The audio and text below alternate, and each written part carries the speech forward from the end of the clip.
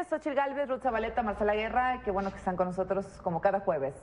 ¿Qué tal? Buenas noches. Buenas noches. Hola. Pues vayamos ahí, Arturo Escobar. Al final quisiera escuchar eh, su opinión respecto al nombramiento de los dos nuevos ministros de la Suprema Corte de Justicia, un tema muy relevante. Pero antes, bueno, pues el asunto de Arturo Escobar sin duda es polémico. Ahora de la parte de acusado, pues se presenta hoy prácticamente como una víctima, ¿no? Yo creo que vio las películas de Sara García, ¿no? Porque de verdad esa carita de víctima, pues como que no le queda. Yo creo que le salió barato, que se dé por servido que no eh, hubo orden de aprehensión.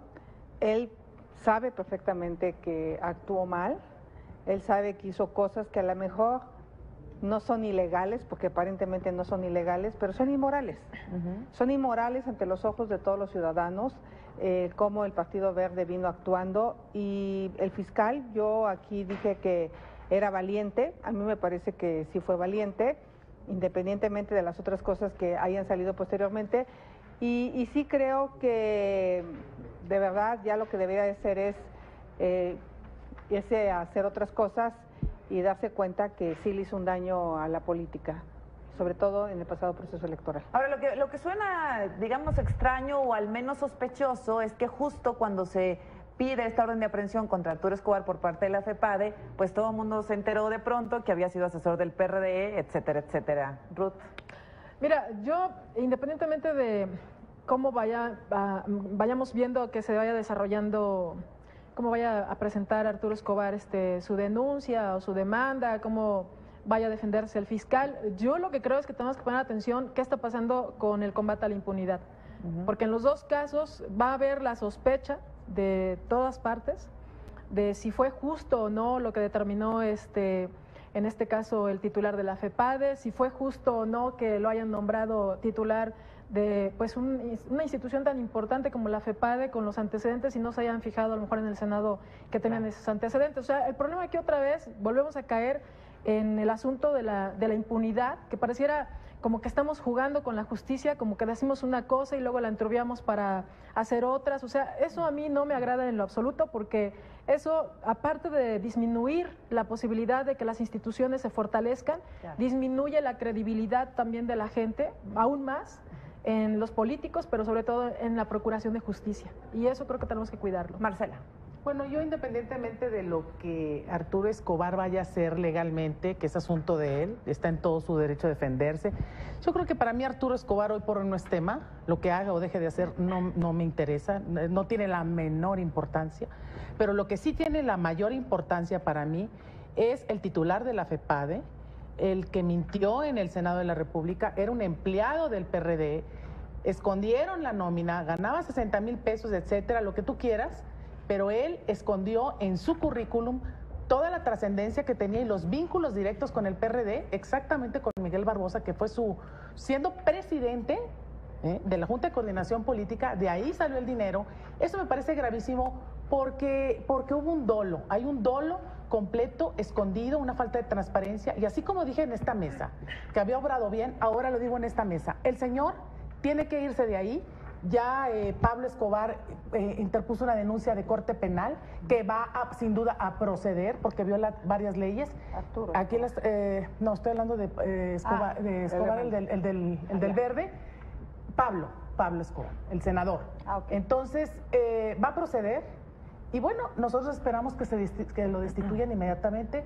¿Por qué? Por- porque faltó a la confianza, a la credibilidad, a la legitimidad, en fin, una serie de cosas y a la legalidad. Ahora, Entonces, el señor es un mentiroso. Se pone sobre la mesa también esta percepción de que quien señala a alguien poderoso, perdón, pero Arturo Escobar ha estado protegido por el PRI durante mucho tiempo, fueron sus mayores defensores, incluso durante estos señalamientos que hizo el fiscal de la FEPADE, se pone sobre la mesa la posibilidad de que quien señale a alguien de un partido político, pues entonces va a sufrir represalias, como se puede leer, es también otra lectura. Nada más una cosa, Xochitl, perdón, tienes razón, no es, es Pablo Escudero. Escudero. Escudero, tienes razón. El otro es Pablo Escobar. Sí, el otro es Pablo Escobar, el narcotraficante.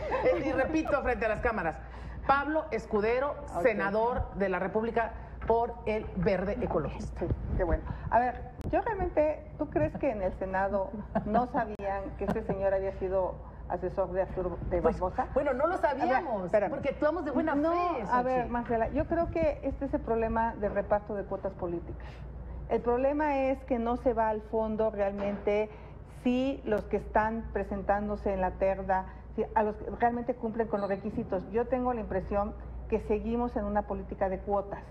Eh, eh, como que esa cuota... razón, pero en este caso no, en este caso fue por consenso. Y te voy a decir una cosa. Tiene un, tenía un currículum salvo eso, bueno, ¿eh? hay que decirlo, eh, Muy él se presentó muy muy reconocido, doctor en Derecho, y como un investigador, en ese momento del CIDE, ya no era investigador, investigador del cine, sino era un empleado del PRD, alguien dice por ahí virtualmente la chichincle de Barbosa. No, a ver, el señor cobraba en el, en el Senado y todavía en la comparecencia el señor estaba cobrando. Me parece que es un cinismo. Y la verdad, yo les quiero decir una cosa, como me preguntó un periodista por ahí, oiga, pero ¿cómo no sabían ustedes? A ver, el Senado actúa de buena fe, presenta y analiza los documentos que se le presentan. Eh, Como dices, Xochitl, el tema de las cuotas, eh, yo creo que No es somos un tema... instancia de la A ver, yo creo que no ¿no? se dan a la tarea realmente de hacer una investigación profunda, como que ya viene la terna, va a ser fulano. Como está el caso que vamos a entrar al de los magistrados, ya todo el mundo sabe quién iban a ser. Hace un mes ya los nombres se habían barajeado, ya Los todo el mundo sabía. Los, los, los, Los ministros de la Corte, ministros sí, de la los- Corte. O sea, es el mismo tema. Prácticamente ya nomás se llega pues a la No, terna. a porque, cumplir el porque hay negociaciones, hay consensos, hay pláticas, van y vienen los nombres, porque por cierto el debate fue, al rato lo vamos a platicar, Sí. de una misoginia, pero Terrible, de- lo de- vimos al terrible. principio, ajá. No podemos en pleno siglo XXI estar así, ¿eh? De veras, ¿eh? Y el PRD fue el que encabezó todo este, todo este asunto contra específicamente la terna de, de mujeres. mujeres. Ajá. Bueno, entonces, eh, eh, ¿qué dice Ruth sobre el tema de la FEPADE? ¿Tiene que separarse de su cargo el señor Santiago? Mira, yo creo que fue desafortunado que no haya informado lo que tenía que informar, porque efectivamente él tenía un currículum muy importante Muy de importante, procurador claro. de justicia, o sea, tenía reconocimiento. Yo creo que él tiene que reflexionar eh, al respecto y tiene que limpiar su imagen y obviamente si él quiere encabezar una cuestión de representar a la justicia en nuestro país, tendrá que tomar sus precauciones. A mí algo al me respecto, brinca ¿no? aquí porque Tendrá de, que irse. de ser Arturo Escobar el tema principal y no hoy, desde marzo, abril, con las tarjetas, con las dádivas, con la coacción del voto del Partido Verde, cine minutos, mochilas y un montón de cosas que se me vienen a la mente, de haber sido él el tema central y el Partido Verde, ahora resulta que las baterías están enfocadas contra quien lo señaló. Bueno, pero quienes más han manifestado esa forma de actuar han sido los medios de comunicación, ¿eh? Bueno, o sea, los algunos medios, medios de de comunicación, este, han, Algunos- algunos eh, medios de como igual con el Piojo Herrera sí se, extre- se No, pero extreman las posiciones. Sí, pero fue también los medios de, que- sí, pero también los medios ¿Qué de fue inmoral, comunicación han difundido Herrera? mucho. No, No, no. Mira, se, se hacen los extremos y satanizamos a todo el mundo, ha- hacemos leña del árbol caído. no o sea, la verdad es que, no hemos estado haciendo todo Escobar ya que con se cualquier defienda. Persona. O sea, primero Escobar, ahora es el fiscal, antes fue el Piojo Herrera, al rato va a salir otro. O sea, es, es Lo que pasa es que también to- un andan problema haciendo de- fechorías, o sea, de que, que personas la haga que la que pague. Pero tampoco ¿no? se tenga que dejar pasar. Bueno, Arturo Escobar ya no es tema, adiós, no. No, no, yo creo que por eso no le quede el papel de víctima. Ajá. O sea no, pero que- yo dije, a ver, Los que dos se que defienda. sus- y si no puede, bueno, pues tiene que pagar. es su Pero responsabilidad. ¿quién se va a no, animar a ya. acusarlo cuando el que lo acusó ahora pues está supuesto en, en un hilo? Pues mira, hay una máxima en política, para tener la lengua larga hay que tener la cola corta. Eso, estoy de acuerdo. el Senado de la República no tiene ninguna responsabilidad, es decir, ustedes ven un currículum y tienen que actuar sí de tiene buena fe. responsabilidad. No, ¿Sí? no, la buena fe yo no se las acepto. Yo, yo de verdad, de Bueno, verdad. entonces, ¿qué vas a aceptar? No, si yo- te yo estoy creo- hablando de buena fe y te estoy diciendo cómo fue la cosa y co- con, esa sorpresa ¿Tú con la que yo vine aquí a presentar, a poner mi cara y a decir que el señor era apto para decir todo, hasta lo aplaudimos aquí. ¿Tú no estabas? ¿Sí estabas o no estabas? No, No. estaba Ruth, yo me acuerdo, era Angélica de la Peña. Y todo el mundo con bombo y platillo y de carnaval y ahora resulta que el señor es un fraude. Así como dijo una cosa, así digo la otra, Xochitl, perdóname. Y sí actué de pero buena si fe. saben la nómina, la nómina es pública. Sí, la No, Esa no, nómina, no, no era- curiosamente nadie sabía de esa nómina. Era una Entonces, nómina poco transparente. entonces hay que sospechar de lo que está pasando.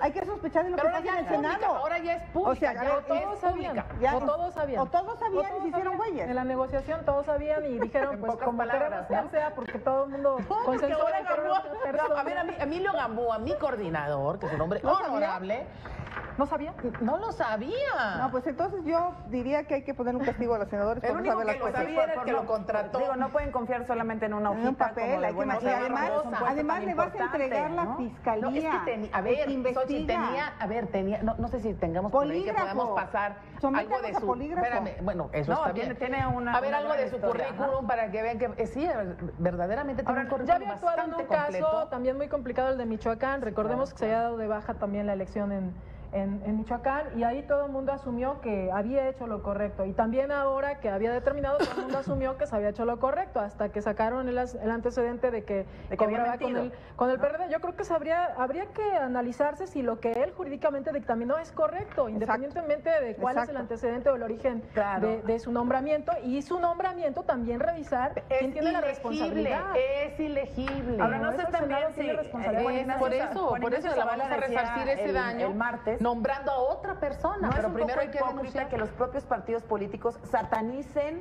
el pertenecer o asesorar a algún partido político para ocupar un puesto público? Es decir, tienes que haber omitido durante toda tu vida el participar, asesorar de alguna forma con un partido político, porque si no eso te descalifica por completo para cualquier cosa.